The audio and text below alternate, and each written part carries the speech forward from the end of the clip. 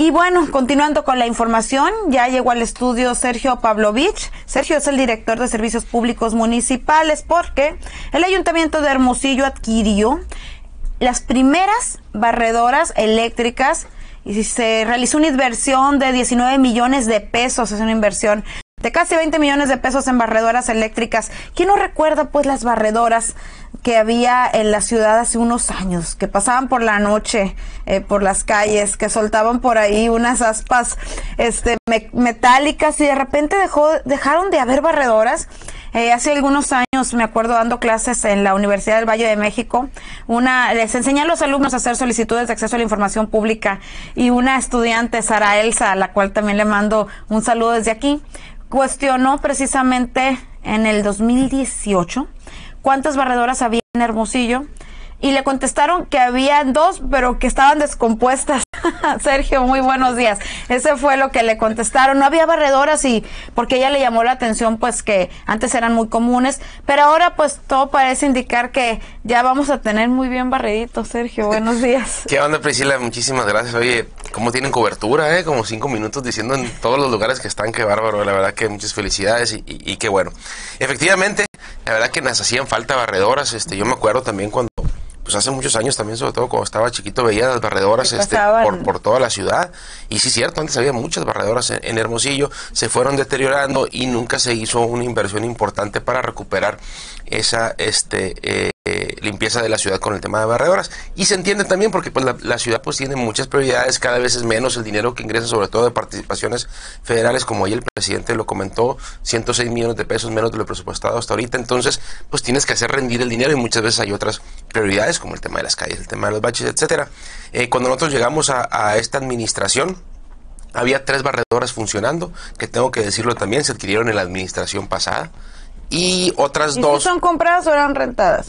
Eh, Porque eh, muchas veces este, dicen que tenemos y luego dejamos de tener. Fíjate, eh, no recuerdo en qué esquema, este, en un principio uh -huh. si las hicieron en, en, un tipo de arrendamiento, pero al final cuando nosotros llegamos, este, sí ya era en propiedad del ayuntamiento esas tres y había otras dos, este, de esas viejitas que yo creo que son las mismas que le respondieron en el 2018 porque no funcionaban. En esta administración primero compramos una, este, eh, Pelican, eh, eh, muy parecida a, las que había antes, que son muy buenas para, para, el trabajo, y ahora adquirimos 10, pero estas tienen la peculiaridad de que son barredoras eléctricas. El presidente municipal está siendo creativo para el tema de la inversión, ver de qué manera podemos hacer más con menos. Entonces estas barredoras nos van a permitir, número uno, ampliar nuestra cobertura, pero número dos, van a ser mucho eh, más ahorradora eh, el tema de la operación. Por ponerte un ejemplo, una barredora normal de puro diésel al mes, eh, si labora todos los días como es lo que queremos que hagan, serían 55 mil pesos de puro diésel lo que utilizarían. Entonces, si, si, si, lo hubiéramos hecho con 10 barredoras, fueran medio millón de pesos en el puro diésel, sin contar el cambio de cepillos, las reparaciones, etcétera. Y estas van a, van a costar entre 700 y 1500 pesos al mes. Entonces, la diferencia del mantenimiento en el tema del combustible, eh, eh, que en este caso es, es, es con energía eh, del sol, porque pusieron paneles eh, también para cargarlas, pues va, va, nos permite por lo menos este, ser muy, mucho más manejable. ¿Cuánto tiempo tarda en cargarse una barredora eléctrica? Mira, estas barredoras en específico tardan de entre 4 a 6 horas y nos da un rendimiento de 8 a 9 horas, que es más que suficiente para cubrir el turno. Normalmente las barredoras eh, trabajan por la noche. ¿Por qué por la noche? Pues número uno hay menos tráfico, pueden abarcar uh -huh. este eh, más, más espacio y número dos, eh, no hay carros estacionados, sobre todo en las laterales, que permite que las barredoras trabajen como tal. Ahorita las tres barredoras este, que pues an, eh, entran y salen eh, de talleres, es muy costosa también el cambio de cepillos. Aparte de lo del, aparte de los 50 pesos en combustible, eh, las barredoras estas este, que se adquirieron en la administración pasada son como 100 mil pesos al mes en puro mantenimiento que tenemos que cambiar los cepillos cada mes, las refacciones, etcétera. Eh, y casi no se veían porque estaban en el primer cuadro de la ciudad, sobre todo en la parte del centro. En el centro sí, sí, sí, sí, sí, se ve un poquito más. Y luego cuando hay un desfile o algo. Exactamente, cuando hay algún tipo de evento o algo es cuando, cuando, cuando salían. Y, y no se veían pues porque no nos da abasto para todo Hermosillo. Esperemos que con estas 10 alrededor ya la gente las empiece a ver.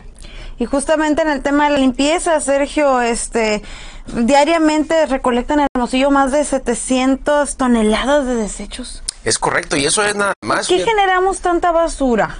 Y eso, qué? Y, eso es nada más. Porque no tenemos conciencia de, del reciclaje. Sí, la, mira, primero es, es, es, es, reutilizar, ¿no? Lo que debemos de hacer, ver qué nos sirve para nosotros reutilizarlo. Después sí, buscar la separación para, el, para, para hacer el reciclaje. Ahora la basura tiene un valor muy importante, no, no, no es como antes.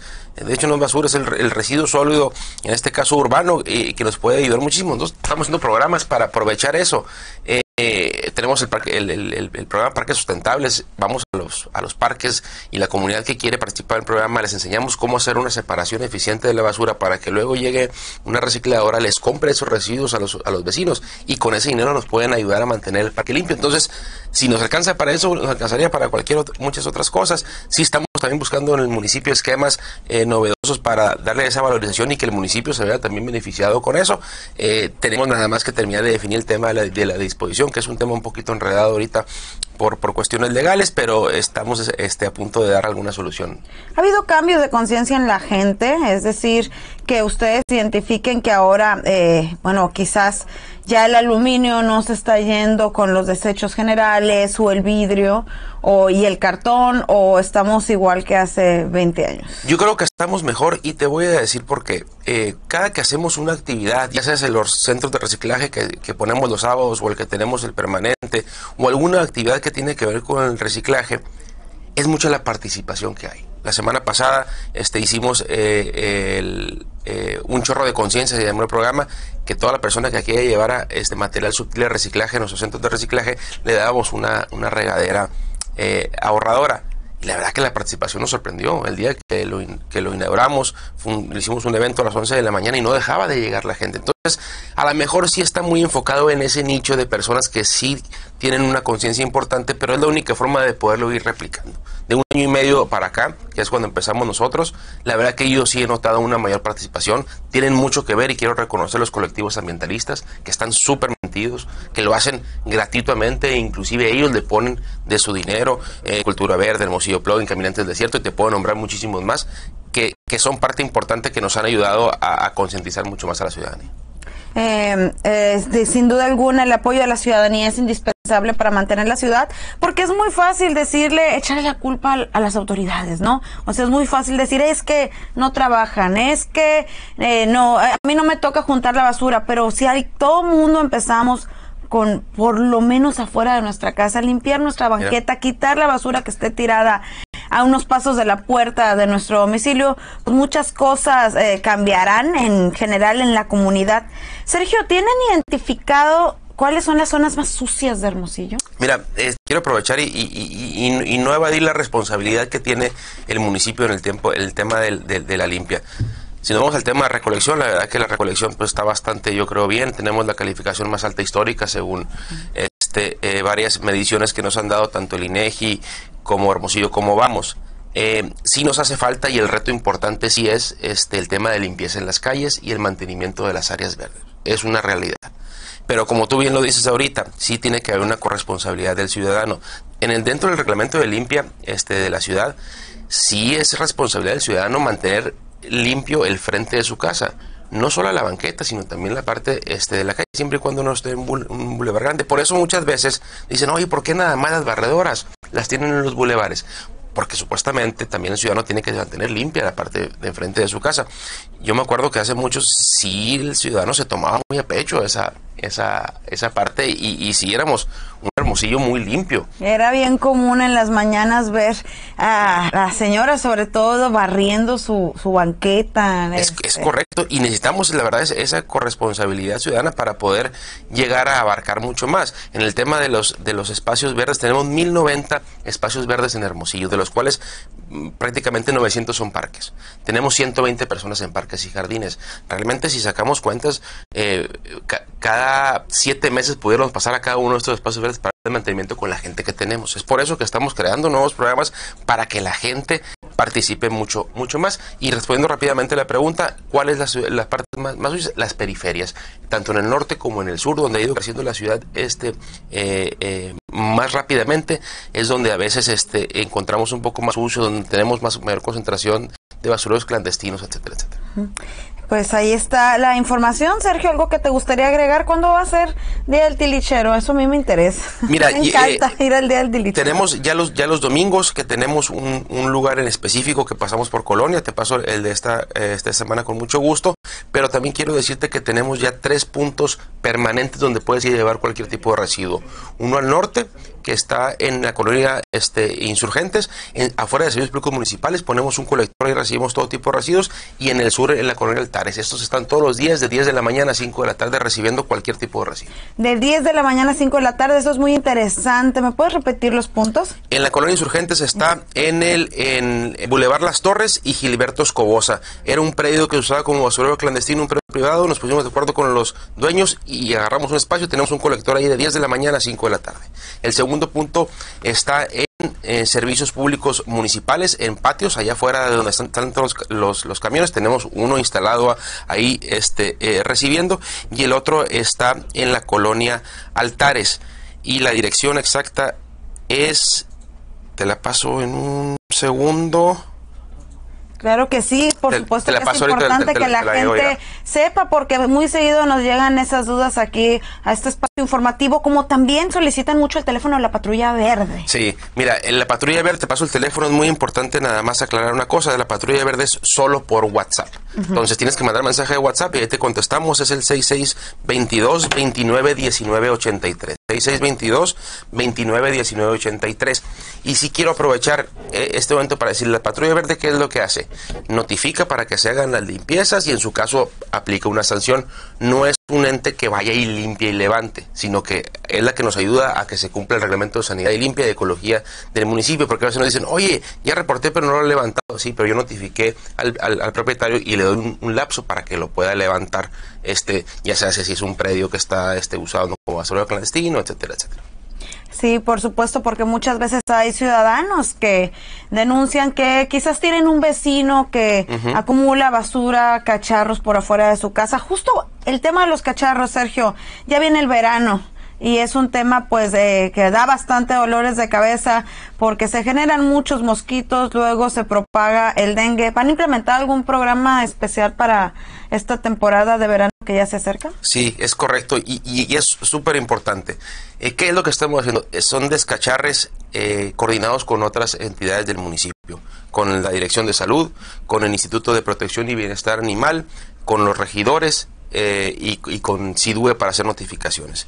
Por ejemplo, el día, el día martes estuvimos en la Colonia Internacional, la semana que viene estaremos en Valle de Quino, hace dos semanas estuvimos en Punta Chueca y son polígonos que nos está dictando la Dirección eh, Municipal de Salud, donde son más susceptibles a tener casos de dengue históricamente. Todos estamos yendo a esas colonias a hacer los descacharres. Es muy importante que cuando le toque a su colonia todos sean muy participativos, porque si uno o dos vecinos no hacen el descachar, pues no va a tener la efectividad que debemos de tener.